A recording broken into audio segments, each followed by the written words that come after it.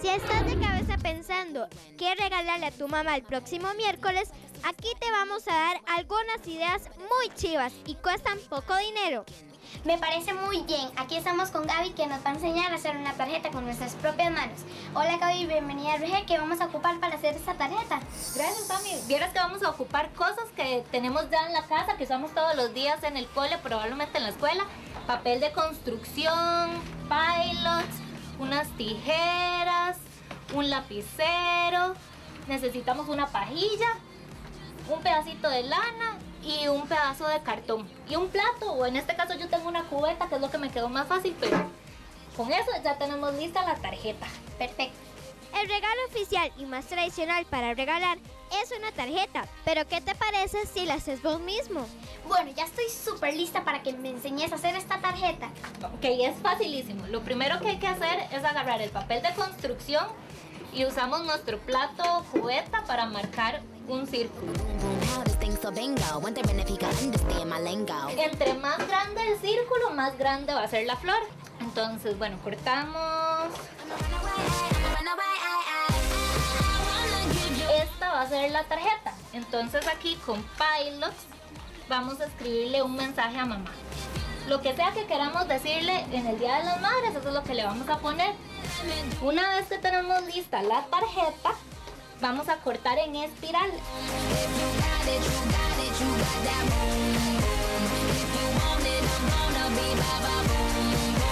¿Cómo esto a ser una flor? Muy fácil, simplemente agarramos la esquina de afuera y empezamos a darle la vuelta, aquí arrollamos. Debemos ir tallándolo, ¿verdad? Sí, tenés que ir como tallándolo para entre más lo talles, como que más se va a sostener. Después se va a abrir y ya va agarrando la forma de una flor. Queda muy bonito. Con un cartón, puede ser una caja o algo que tengan ahí en la casa que ya no estén usando. Vamos a cortar también una forma de flor. Yo aquí ya lo dibujé.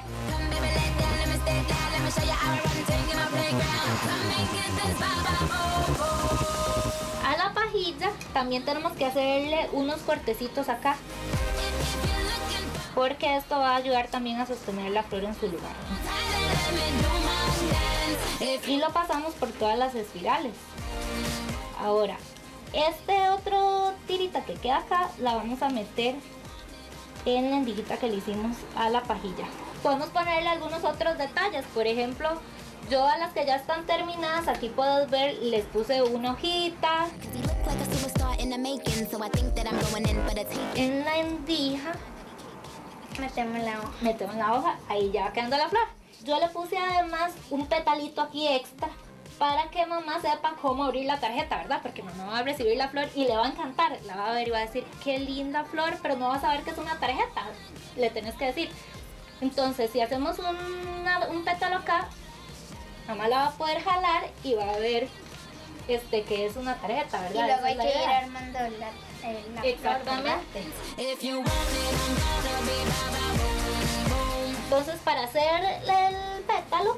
simplemente cortamos un pedacito más así, le ponemos un mensajito, yo le puse aquí jalar para que ella sepa que lo tiene que jalar y lo pegamos en la puntita con, con, con, cinta.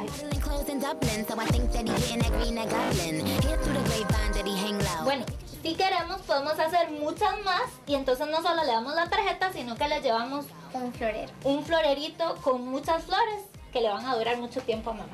Quedó linda, ¿verdad? Y tu mamá se acordará de vos siempre que la vea. Ahora sí, veamos otra idea. ¿Y ahora qué otra cosa podemos hacer, Gaby?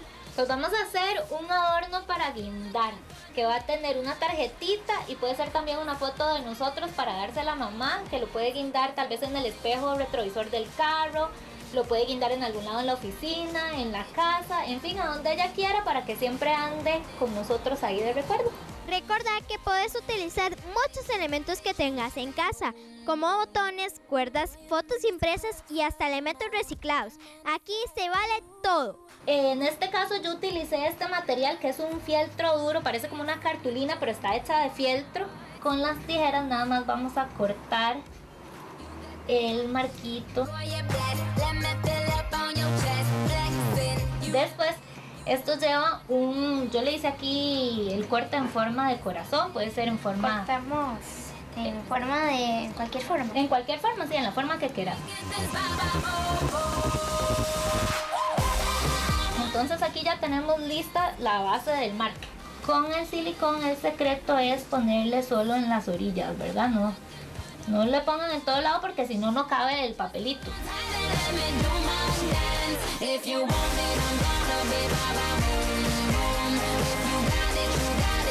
Y del otro lado buscamos una foto tal vez que tengamos de nosotros o una foto que queramos que mamá tenga. Aquí la idea es ponerle todo lo que queramos. Este nos quedó muy original. Decirle que lo guinde en una puerta, la cocina o el carro. A la hora de pensar en un regalo para mamá, lo importante no es el valor económico, sino la intención y el amor con el que lo escojas. Así que si tenés ese día a tu mami cerca, dale un beso enorme y un gran abrazo. Y lo más importante, decirle cuánto la querés.